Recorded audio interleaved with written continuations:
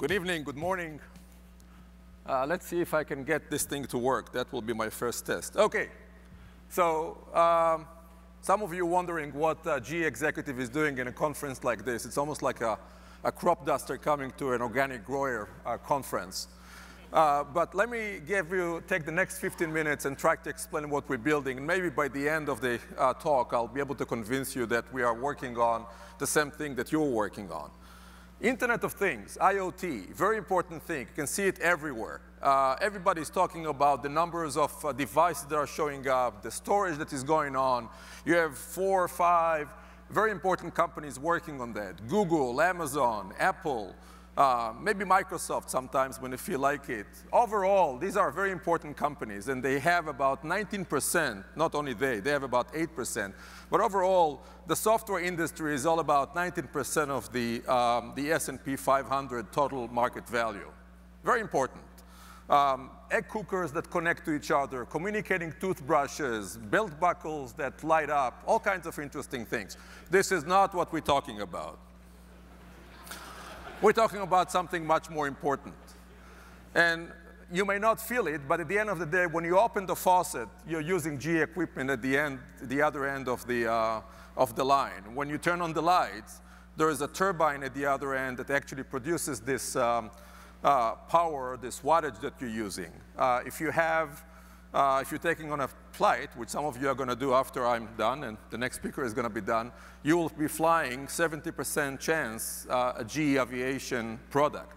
So overall, we're talking about big, dirty, noisy machines that are very important for our, li our uh, life in general, our well-being specifically. Now, the interesting thing about that is all those things have sensors and they talk day and night, 24-7, and somebody needs to analyze them and make sure that we understand exactly what's going on with them. If you look at the numbers of the sensors on those machines, we are approaching to the point where there are 20 billions of them. And they create about 80 exabytes of data. Now, this is a lot of information, and the reason we want to collect it is not to break any privacy rules or do anything of that sort, but really to understand how we can optimize those asset uh, potential to generate more revenues, how to make sure the production and the livelihood of those companies that actually are working with those assets much smoother, and how do we make sure that we can extend those assets and allow them to uh, uh, generate revenues in the years to come. Those things are actually going on for a very long time. Uh, some of those assets were put in place 30, 35 years ago. Naturally, they didn't have all the controllers and the compute environment that we're looking at today. But the goals of GE and the companies that are working within the same ecosystem is to make sure that we really build this thing we call the industrial internet. You have the consumer internet, you have the enterprise internet, Salesforce, Splunk, and so on, and you have the industrial internet. And the industrial internet actually is going after that part of the GDP that is a little bit the underserved community, right? It's not something that every day you wake up and with uh, thinking about how a turbine talks to another uh, piece of equipment on that internet. But uh, we would assert that this is really tomorrow's growth opportunity. There is a big difference between the two. At one level, they don't look that different, but actually, if you think about that, there's a huge difference in several key dimensions, and that's why we're here today. First, the average longevity of those devices, and no offense to the toothbrushes and the rice cookers, is that uh, usually people use them for about six months. It can be a nice wearable that you bought. It can be uh, a nice gadget. Uh, these things actually are working for about six months on the average. Our assets need to work day in, day out for 30, 35 uh, years. And when you think about that, actually, uh, a lot of people have to make, a lot of the operators have to make those decisions about whether they take the drill uh, into maintenance or forget about maintenance and keep drilling oil because the price of oil has jumped by $5. Those decisions are really deep economical decisions that people have to make as they go and work those assets. If you think about the other part, connectivity, the biggest problem that we can have is the call will be dropped. You know, there definitely a certain loss of productivity when people can talk to each other. But when you have uh, a blow-up preventer that you have to overhaul or upgrade, in the middle of a subsea drilling operations, and you know that if that blow-up preventer is not going to work the way it should, then God forbid another, another oil spill is going to be upon us. This is where connectivity is becoming very important. And so not only we have to make sure that we will be able to get this connectivity all the time, but we also have to make uh, provisions for when the connectivity is intermittent or really to some extent unavailable. If you're in the middle of uh, the sea, usually unlikely that you're going to have a cell operating in the vicinity. You have to rely on satellite communication. You have to optimize the cost of that. It, you have to make sure that under any circumstances, the industrial assets will be able to keep working. Big difference. Data management. Let's talk about um, how many uh, exabytes we need. If you think about that, uh, there are about, uh, I think, 10 million or 10, uh, 10 million? Yeah, something along the lines of every second of tweets that are happening in the, in the, um, uh, on the network. There's about 80 gigabytes um, a day. and this is a, basically a very respectable number. If you look at Facebook, you're talking about you know, hundreds of petabytes a year. Now let's look at what happens when you deal with, um, uh, with uh, GE Aviation. And this is only GE aviation. 500 gigabyte for every flight. It's all the data about the engine, the airframe, the vibration, the cabin temperature. It's important for uh, mechanical engineers that build the airframe. It's important for GE Aviation folks that build the engines. And it's important for the marketing and the performance uh, scientists in the airlines that would like to understand whether the cabin was too warm or too cold. There are about 100,000 flights every day that are happening in the United States. If we only took, if we only took the part that we are dealing with, which is uh, GE is dealing with, which is about 70% market share, we're talking about 70% of 100,000 flight times half a terabyte. I think in my math, it's about 50 terabyte, uh, sorry, 50 petabytes a day. So we're talking about unprecedented amount of information, and for the first time in history, people actually know what to do with all this data. Because if you go and analyze that, you're going to figure out how to build better engine, faster engine, how to make sure that the blades, uh, the turbine blades actually can last much longer. So you have an end-to-end -end picture of everything that we're building. Security. Everybody wants the devices to be secure, but would you pay $100 more for secure phones? Maybe in, you're in the intelligence community or very um, uh, a business that is exposed to industrial espionage, that may be the case. Normal consumers don't pay for that. Our industry will pay a lot to make sure that their devices don't get hacked. I mean, I'm not sure, I'm not, I don't think I'm telling you any secret, but you can actually hack into pretty much everything unless there is enough security in that.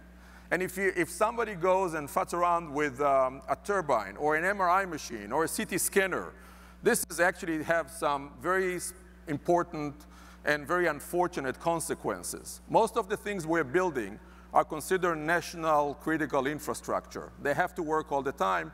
We want to make sure that at the end of the day, the industrial internet is not only high performance, but also high security. And we cannot tolerate uh, breaches either by nation states or just by uh, bad people that would like to play around with some of those assets that we have at our disposal.